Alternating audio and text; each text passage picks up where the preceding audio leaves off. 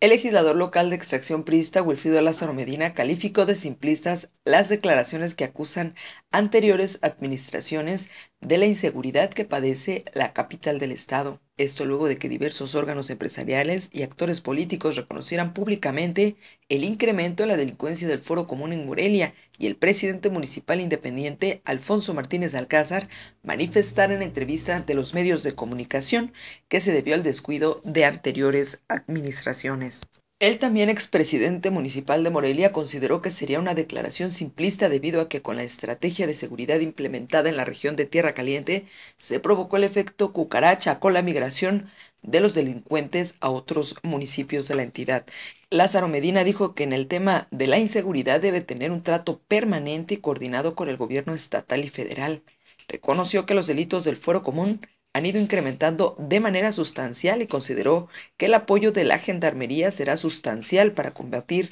a los amantes de lo ajeno.